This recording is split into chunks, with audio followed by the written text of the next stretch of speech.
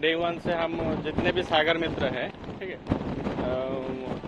हर एक honour fisherman को call करके समझा रहे हैं, आप लोग फिशिंग नहीं जाइए।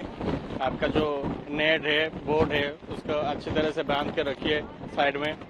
और जितने भी गाँव है फिशरमैन विलेज है, उसमें जाके हम हर सागर मित्र, उनको अवेयरनेस कर रहे हैं फिशिंग नहीं जाने के लिए।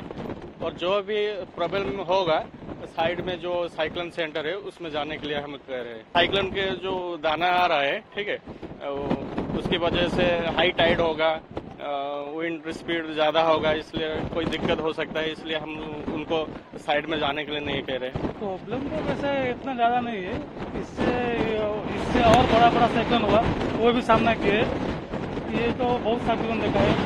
99 में जो आया था साइक्लोन इससे बहुत बड़ा आया था। वो भी उसको सामना किए। पन्नी आया था और उड़ुड़ आया था। बहुत कुछ ज़्यादा आया था। हम भी तैयार है। ऐसा बात नहीं है। होगा जो होगा, देखा जाएगा। तो है। डर तो है। पानी को किसको डर नहीं है? डर तो रहेगा। हवा भी चल रहा, रात से भी बढ़ हवा चल रहा, अभी बढ़ते जा रहा।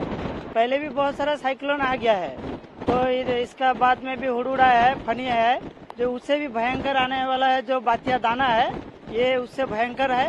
तो इधर थोड़ा हाई अलर्ट है। अभी प्रशासन तरफ़ से सभी कलेक्टर वगैरह आए थे और सभी व्यवस्था सही है और एनडीआरएफ टीम वगैरह सब सही है। तो बातिया दाना के लिए सब हाई अलर्ट में है। कोई भी यदि बाढ़ आएगा तो हम लोग लिपट लेंगे। कोई टेंशन की बात नहीं।